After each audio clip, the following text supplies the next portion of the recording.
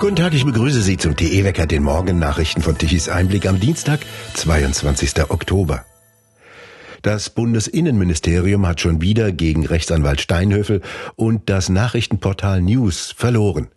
Das Ministerium muss News mitteilen, gegen welche Journalisten es im Jahre 2022 mit einem Unterlassungsbegehren vorgegangen ist. Auch muss das Innenministerium offenlegen, aus welchem Grund es die Berichterstattung beanstandete.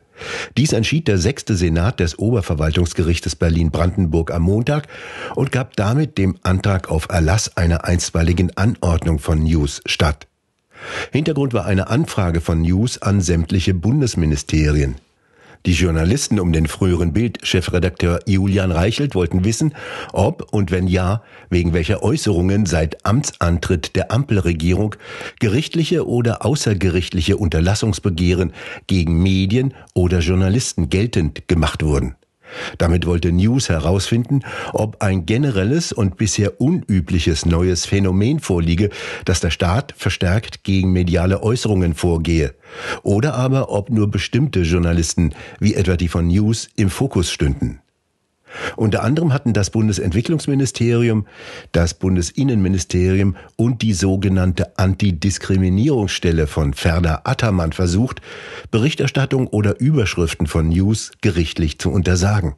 In anderen Fällen weigerten sich dieselben Stellen, den Journalisten von News Auskunft auf Presseanfragen zu erteilen. In sämtlichen Gerichtsverfahren bekam News Recht, die Bundesregierung unterlag. Vertreten wird das Portal durch den Hamburger Rechtsanwalt Joachim Steinhöfel. Das Gericht äußerte sich außerdem inhaltlich in seiner Begründung, dass die Bundesregierung mithilfe externer Anwälte gegen regierungskritische Berichterstattung vorgehe, sei ein neues Phänomen, an dem großes öffentliches Interesse bestehe, stellten die Richter fest. Mit der verpflichtenden Auskunft des Bundesinnenministeriums könnten sich Hinweise ergeben, ob die Bundesregierung gezielt gegen bestimmte Journalisten vorgehe und ob sich daraus ein Muster ableiten lasse. Rechtsanwalt Steinhövel gewann im Jahre 2024 bereits 14 presserechtliche Verfahren gegen verschiedene Regierungsstellen, zum Großteil im Auftrag von News.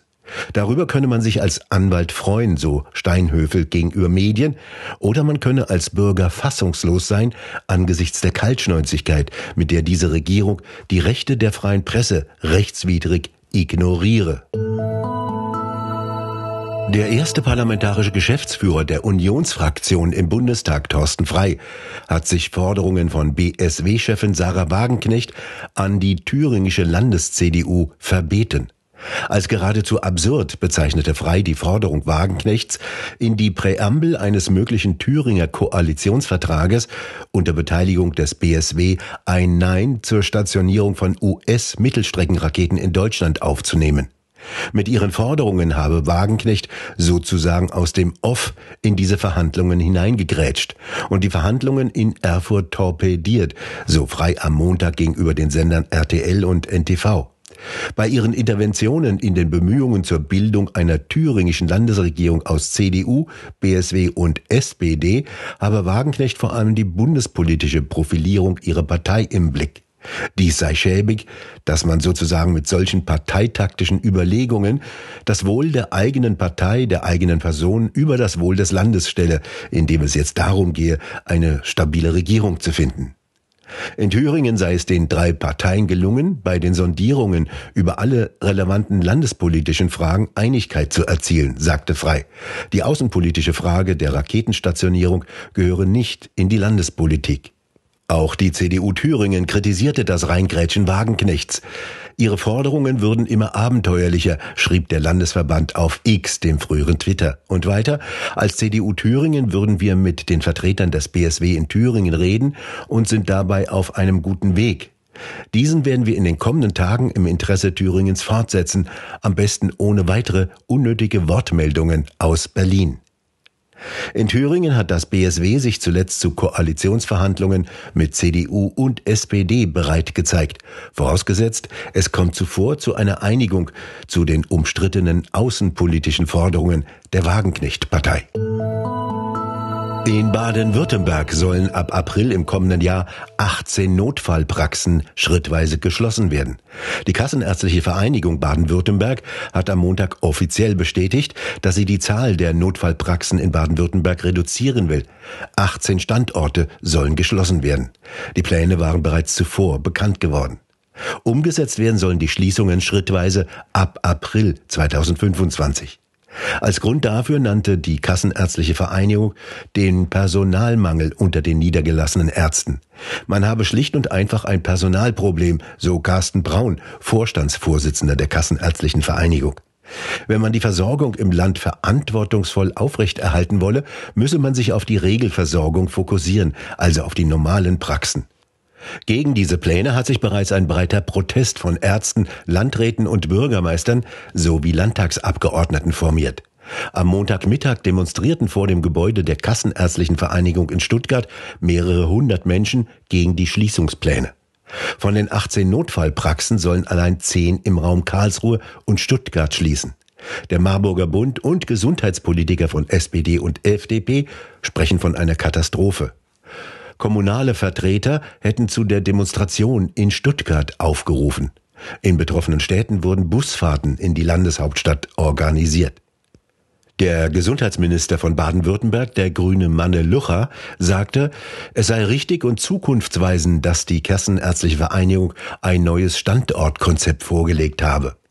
Wir müssen ehrlich sein zu den Bürgern und ihnen reinen Wein einschenken, so Lucha. Ohne Veränderungen gehe es angesichts knapper werdender personeller und finanzieller Ressourcen nicht, so der grünen Politiker in einer Mitteilung.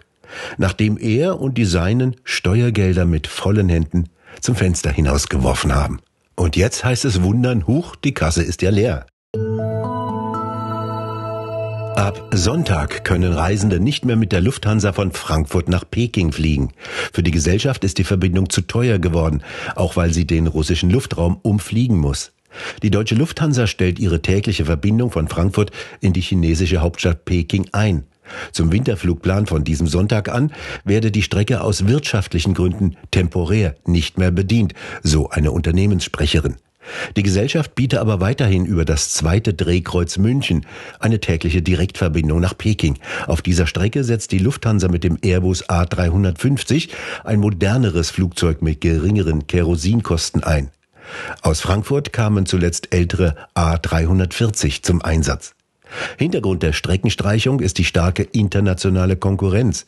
Der Lufthansa-Konzern hat vielfach den ungleichen Wettbewerb mit Anbietern aus China, der Türkei und dem Persischen Golf beklagt.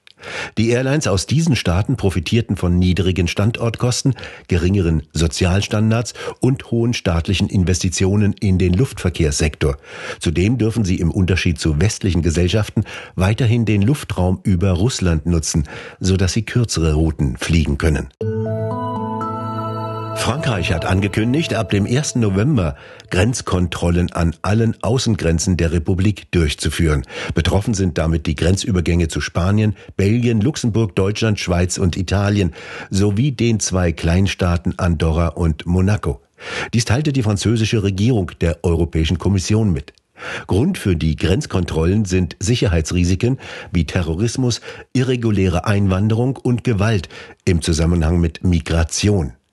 Zunächst ist diese Maßnahme bis zum 30. April 2025 befristet.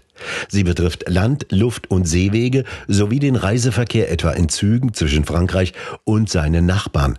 Auch irreguläre Grenzübertritte am Ärmelkanal, also dem Seeweg zwischen Frankreich und dem Vereinigten Königreich, sollen unterbunden werden. Dort sei es, etwa in Dünkirchen und Calais, immer wieder zu gefährlichen Situationen gekommen, in die sowohl Migranten als auch Strafverfolgungsbehörden verwickelt seien. Die Europäische Kommission schreibt vor, dass Grenzkontrollen zwischen den Mitgliedstaaten lediglich zeitlich begrenzt stattfinden können und verhältnismäßig sein müssten. Derzeit haben acht der 27 Länder der EU irgendeine Form von Grenzkontrollen eingeführt. Eine leichte Kaltfront überquert heute Deutschland und sorgt vor allem in den Niederungen für Nebel und leichte Nässen. Am Nachmittag könnte es weitgehend aufklaren. Die Temperaturen 20 Grad im Osten in der Lausitz, 13 bis 16 Grad in den übrigen Landesteilen.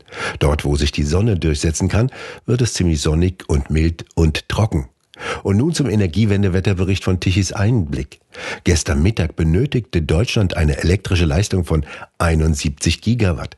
Die konventionellen Kraftwerke sorgten für knapp 25 Gigawatt Leistung, die Photovoltaikanlagen für knapp 19 Gigawatt und die Windräder für knapp 16 Gigawatt an elektrischer Leistung um 12 Uhr mittags. Um 19 Uhr abends war der Bedarf an elektrischer Leistung auf 60 Gigawatt gesunken. Von den Windrädern kamen etwa 7,5 Gigawatt an Leistung um 19 Uhr.